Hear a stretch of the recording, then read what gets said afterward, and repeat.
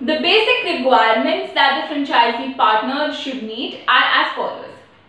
Number 1. The franchisee partner must have an Android phone. Number 2. The franchisee partner should know how to browse the internet.